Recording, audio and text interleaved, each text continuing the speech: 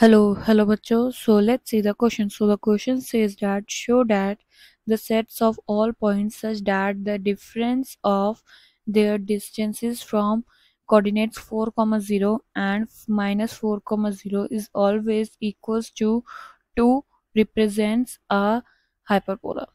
So here we have to do this question for the key for that the key concepts are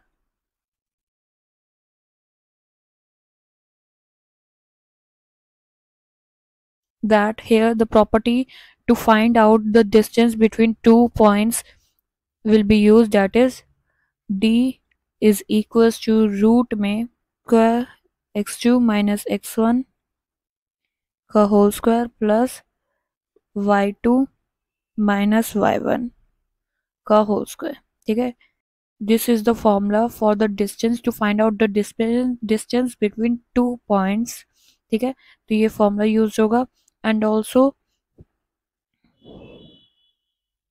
the standard equation of hyperbola is also important in this question.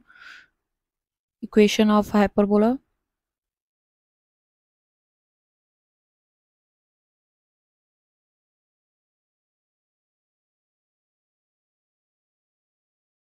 That is x square by a square minus y square by b square is equals to one ठीक है, ये भी use होगी यहाँ पे question में.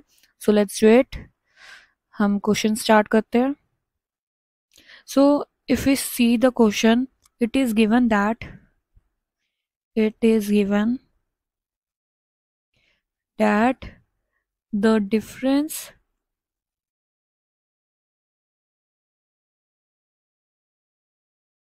of the distance between the points 4 comma 0 and minus 4 comma 0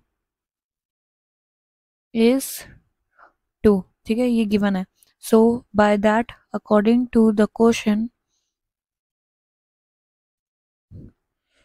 root में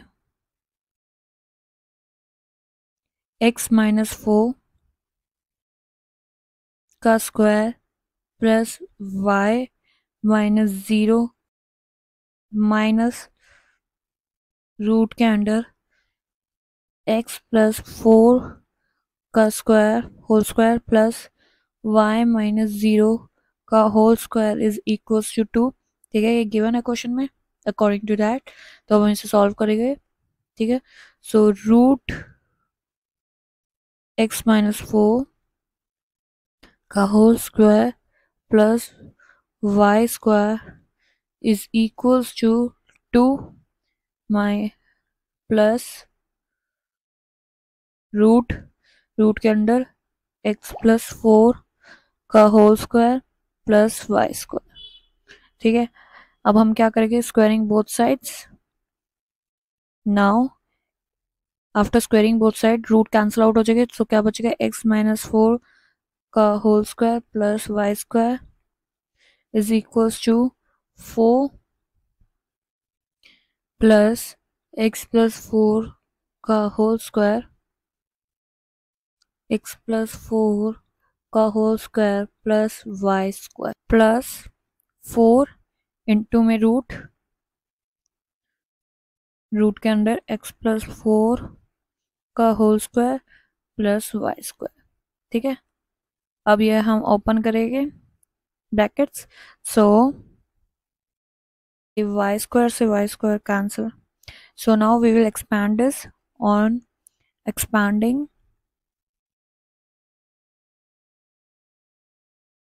we get x square minus eight x plus sixteen plus y square is equals to 4 plus x square plus 8x plus 16 plus y square plus four root root के under x plus four का whole square plus y square ठीक है?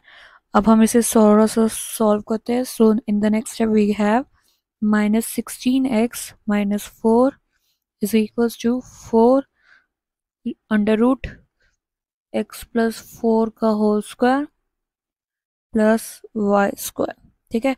अब हम minus four common ले लेंगे। Left hand side से अंदर क्या बचेगा? इंटू में bracket four x plus one is equals to four four root root के अंदर एक्स प्लस फोर का whole square plus y square ठीक है? सो ये फोर से फोर कैंसिल आउट हो जाएगी। सो नेक्स्ट स्टेप में हमारे पास क्या बचेगा? माइनस इंटू में bracket four x plus one is equals to root x plus four का whole square plus y square ठीक है?